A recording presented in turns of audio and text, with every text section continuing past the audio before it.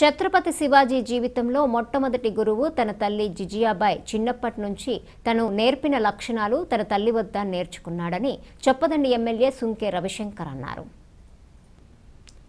గంగాధర మండలము గట్కుబూత్కూరు గ్రామంలో పది లక్షల రూపాయల అంచనా వ్యయంతో నిర్మించిన వైకుంఠ ధామాన్ని ఛత్రపతి శివాజీ విగ్రహాన్ని ఆవిష్కరించారు.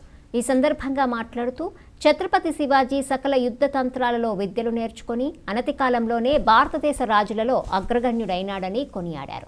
ఛత్రపతి శివాజీ జాడలో మనందరం నడవాలని ఎమ్మెల్యే కోరారు. పల్లె ప్రకృతి వరం ఉన్నది.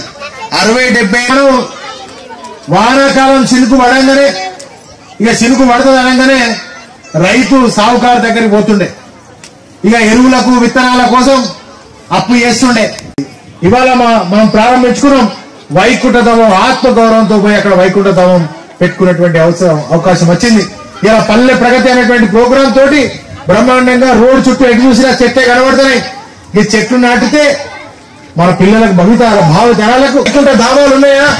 వరి ధనం ధాన్యం కొనుగోలు సెంటర్లు ఉన్నాయా? మా తిమ్మరావు సార్ చెప్పిండు. ధాన్యం కొనుగోలు సెంటర్లు మన రాష్ట్రంలో ఉన్నాయి. మద్దతు ధర అన్ని రాష్ట్రాల కంటే ఎక్కువ ఇస్తా ఉన్నాం. అంతేకాదు